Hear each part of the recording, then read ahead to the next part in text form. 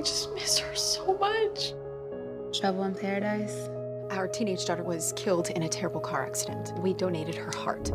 I got this email at work today. Oh my god.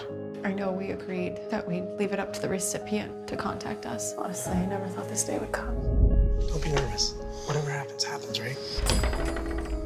Mr. and Mrs. Cummings? You must be Vera.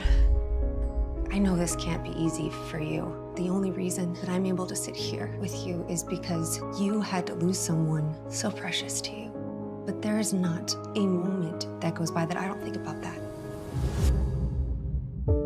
Hey, honey. Do you think you can come home early tonight? Oh, so urgent. Hey, hon. Hello, Dennis. Hey. Come on, join us. Tell us a little more about yourself. I'm afraid you might not find it very interesting. Are you able to work? I had to take a short break during my recovery. You should not be struggling right now. Your family now, okay? You gave this woman $5,000. I felt really terrible for her. She got sick, she had surgery, and now she's out of a job. But we barely even know her. She's not Madison. She has Madison's heart. I've missed these get-togethers. Hi. Hey, what are you doing here? Dennis's promotion. I didn't invite you. Julie, we're practically family. You okay, man? You don't look so good. I just had a lot on my mind. I feel like she is alive inside me. Vera. She was very beautiful. You do that?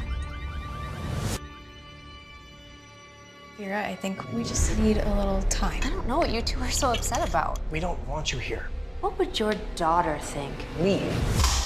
You'll regret this. So what's up with her? That's what I'd like to know. What could she want? This woman is harassing us. I'm afraid you might be in some serious danger. Why are you doing this? I saw the police report. My sister was killed because of your daughter. It was a mistake.